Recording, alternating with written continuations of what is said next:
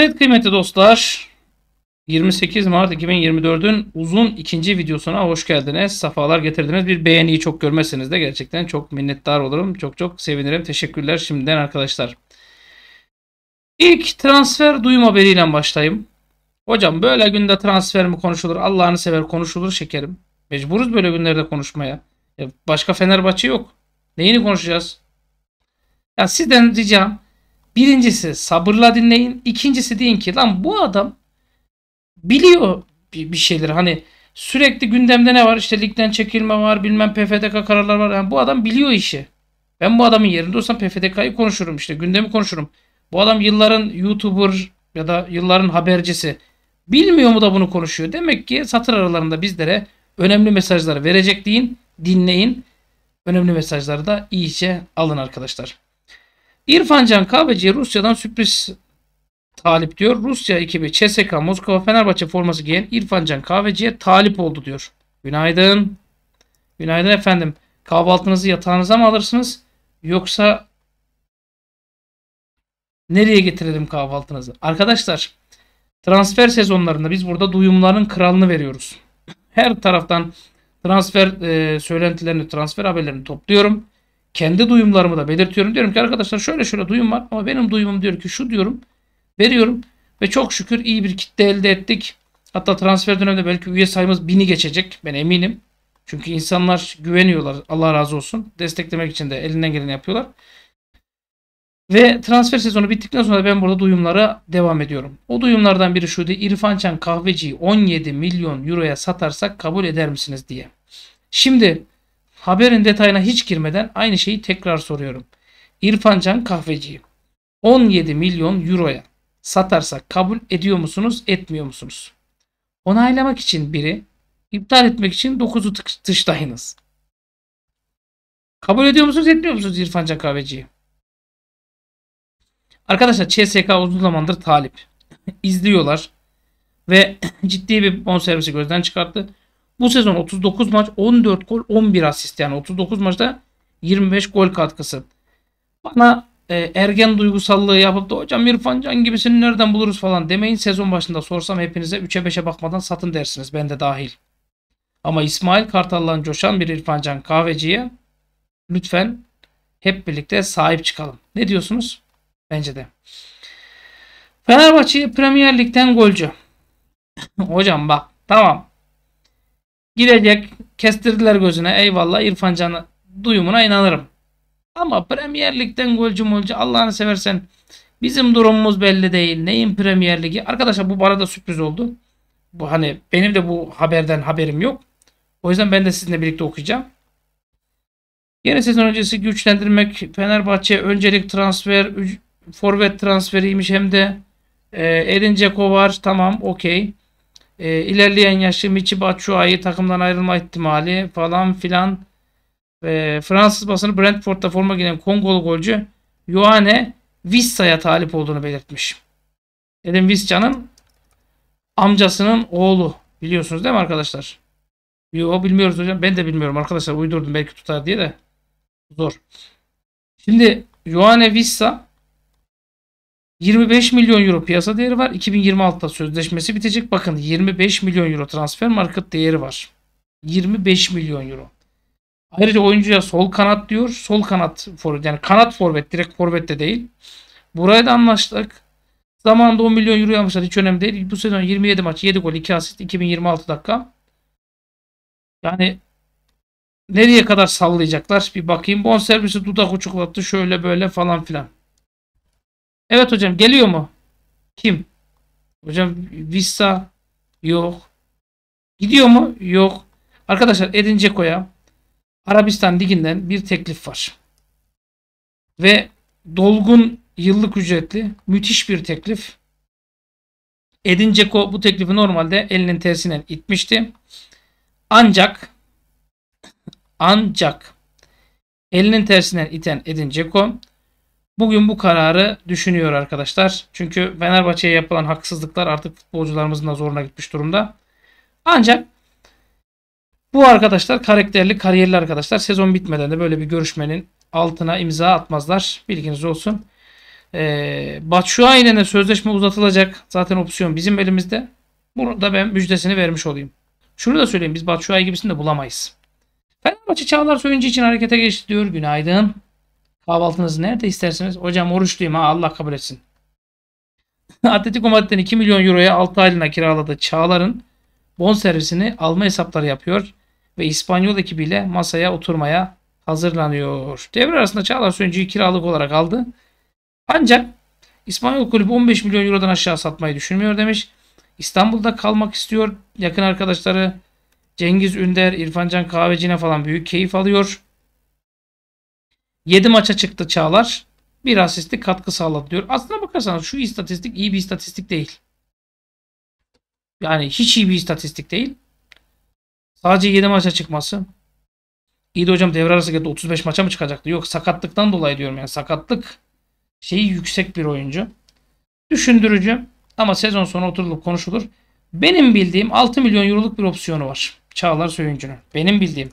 Belki de ben yanlış biliyorumdur. Her şeyde benden bilmenize gerek yok. 6 milyon euroluk opsiyonun olduğunu biliyorum. Ee, üst adıyla yırtılıyor. 2 milyon euroya kiralandı. 6'ya da alınır diye biliyorum arkadaşlar. Bu benim duyumum. Herhangi bir pazarlığa da gerek olduğunu düşünmüyorum. Bunu da söylemiş olayım arkadaşlar. Bu arada konferans liginde asisti yapmış.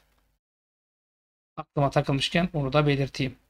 Fenerbahçe Beko'da hedef Barcelona'nın genç yıldız diyor. Basketboldan çok anlamıyorum. Hani Barcelona'yla yoldan ayırması düşünülen Rokas Jokobaitis için harekete geçmiş. Belki de Jakobaitis'tir adı. Belki de Jakubson'dur. Litvanya basında 15 minin haberine göre Fenerbahçe Beko ayrılmak isteyen oyuncu 23 yaşındaki oyun kurucu takıma 5.7 sayı 3.2 asist ortalamasıyla mücadele ediyormuş. Nasıl iyi basketbolcu mu bilmiyorum. Bunun yorumunu size bırakıyorum. Hocam Yakup Aitis çok iyi. Benim mesela okulda öğretmen arkadaşım var Halil İbrahim Hoca. O da çok e, basketbol anlıyor. Başlar o Yakup Aitis çok iyi işte o kısa top, bilmem kısası çok iyi, uzunu çok iyi. Kalın, ince, sert. Lan neyden bahsediyorsun diyorum bazen anlatıyor.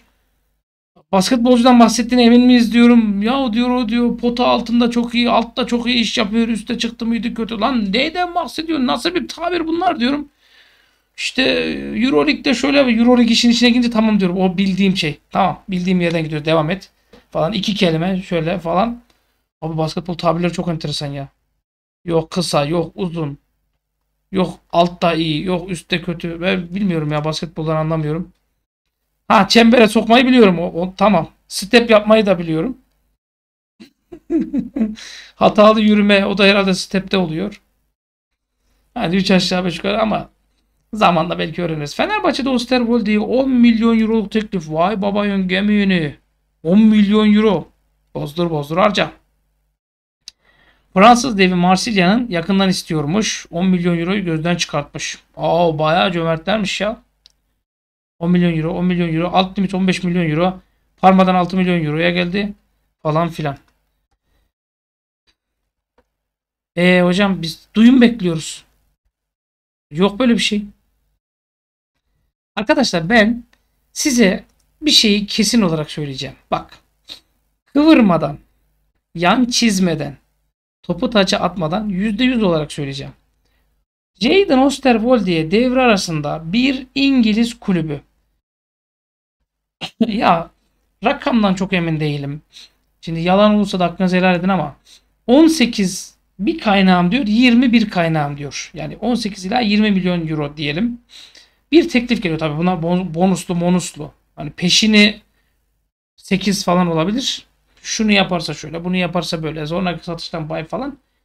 Yani Galatasaray mantığına göre hareket edersek 18 oradan geldiğine göre 20 oradan geldiğine göre 38 milyon euroluk teklif gelmiş oluyor Osterwolde'ye. Niye Zaniolo'da öyle yapmadılar mı? 58 milyon euroya sattık dediler. Ne satma var ne bir şey var. Oyuncu kiralık geri gönderecekler. Ben de Galatasaray mantığına göre yapsam olmaz mı? Osterwolde'nin minimum 30'a gideceğini ben garanti ederim. Ve ben size bir cümle kurmuştum. Demiştim ki bu çocuğu stoperde oynatırsak Türkiye'yi geçtim. Dünyanın sayılı stoperlerinden olur demiştim. Haklı çıkmanın haklı gururunu yaşıyorum. Allah'a çok şükür. O saha için aynı şekilde bu çocuktan İsa Bek olur dediğimde gülmüştünüz. Sen de çok toptan anladığını düşünüyorsun işte. Premier Lig'den Dedi şampiyonşipten oyuncu getirdik. Adam oranın en çok çalım atan oyuncusu. Böyle oyuncuyu sağ beki hapseder misin falan filan diyordunuz. Bu arada Barış Alper Yılmaz'ın da sağ bek fikri benden çıkmıştı. Neyse ben fazla şey yapmayayım. Osterwolde'yi menajeri de zaten söyledi. Sakaboy ile aynı, aynı menajer. Ben bunu daha yüksek fiyatlara satarım diyor. Haberiniz olsun arkadaşlar. Dün Fenerbahçe Başkanı Ali Koç 150 civarı eski yöneticiyle istişare toplantısında bulunmuş. Ve dün Ali Koç'un görüşmesinden çıkan sonuçlar şöyle diyor sevgili Ahmet Ercanlar. Toplantıya katılan hemen hemen herkes mutlak bir şeyler yapılması gerektiğini ama bunun kademeli olarak yapılmasını söylemiş. Hemen hemen herkes bir şey yapalım. Kesinlikle bir şey yapalım. Durmayalım ama kademeli yapalım demiş. Okey burada anlaştık. İkinci ortak düşünce Ali Bey'in başkanlığa devam etmesi. Toplantıya katılan herkes savaşa girerken lider değişmez diyor. Şimdi ben Ahmet Ercanlar'ın ee, nasıl diyeyim size ben Ahmet Ercanlar'ın biraz Ali Koç'un gitmemesi taraftarı olduğu görüşündeyim. Ve o yüzden de hani kendince eklemeler yapabilir gibi hissediyorum.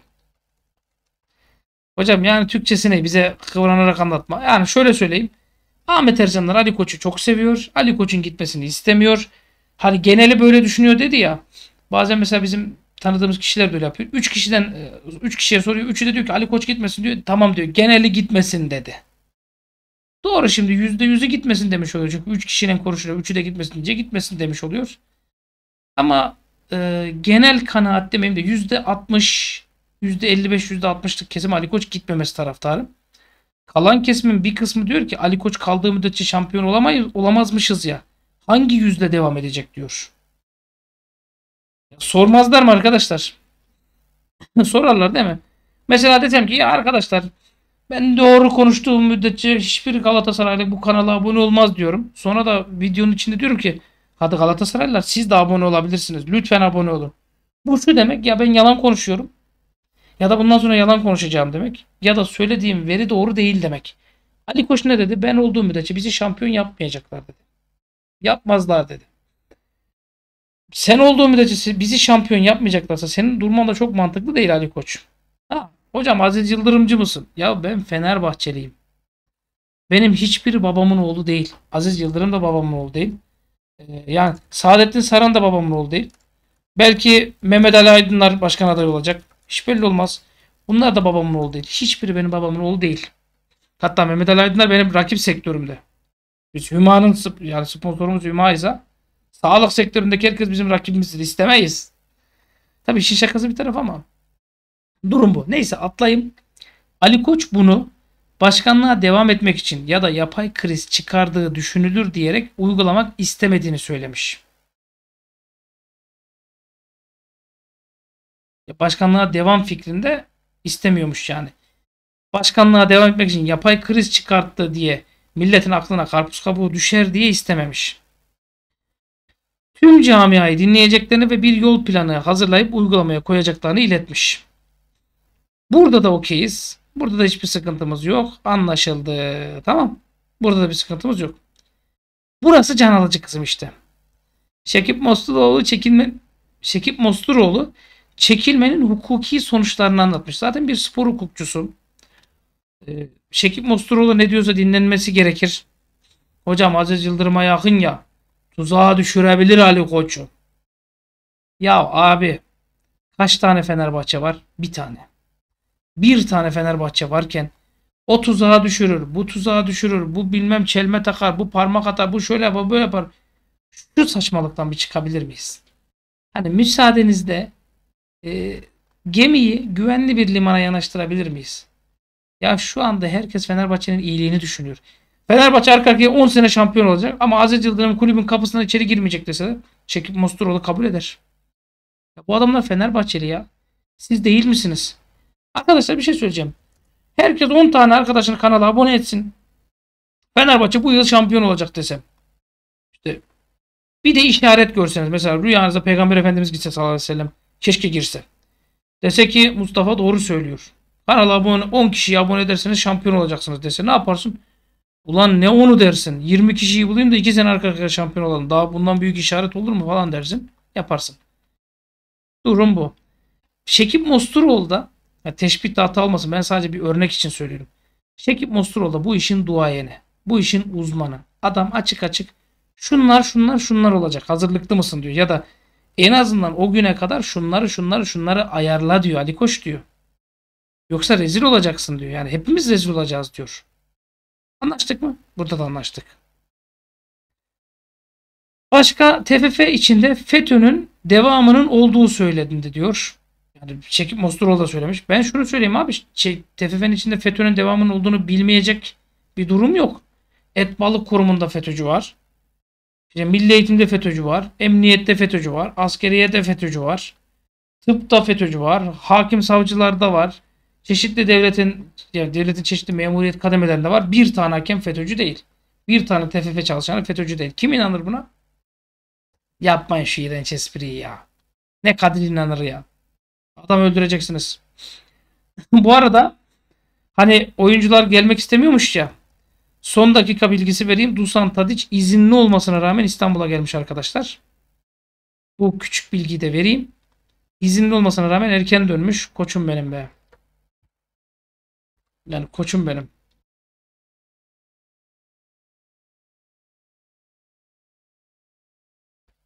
Bunu da söyleyeyim. Peki hocam. Şu anki karar ne? Arkadaşlar bakın. Ben öyle kararından dönecek. Bugün bunu şey yaptım. Karar verildi. Yarın başka karar verildi diyecek adam değilim. Beni önce bir yanlış anlamayın. Fenerbahçe'de kararlar anlık da verilmiyor. Hani bugün şuna kızdık hadi bu kararı verelim. Bugün buna kızdık hadi bu kararı verelim denilmiyor. Şöyle bir şey var. Akıl alınıyor, danışılıyor. Zaten olması gereken de bu. Akıl akıldan üstündür. Danışılıyor. Onlar diyor ki şöyle olsun böyle olsun diye. Yani 150 civarı eski kişiden alınan şeyler bunlar. Ahmet Ercanlar'ın açıklamalarına göre uzun toplantının özeti bu diyor. Bu bugün yani dünkü toplantı. Peki bir sonraki toplantı ne olacak?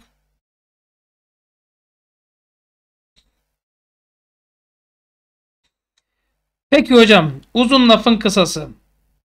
Sen ne diyorsun bu işe? Arkadaşlar şu ana kadar konuştuklarımız içinde hepsini genel toparlamam gerekirse Fenerbahçe transfer çalışmalarını sürdürüyor. Bu iyi bir şey.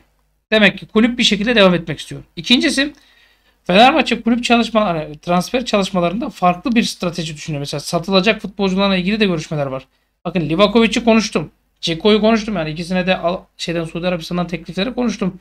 İyi paralara da bonservise de gidebilirler. İrfan Can Kahveci'ye teklif var. Onu da konuştum. 3. Yani satışlar Çağlar'la falan uzatma fikri. Burayı da anladık. Osterwolde'ye teklif Osterwolde'ye de konuştum. Osterwolde'yi sezon sonunda bize koklatmazlar da ben onu da belirteyim. Çok ciddiyim ha bize koklatmazlar sezon sonunda Osterwolde'yi.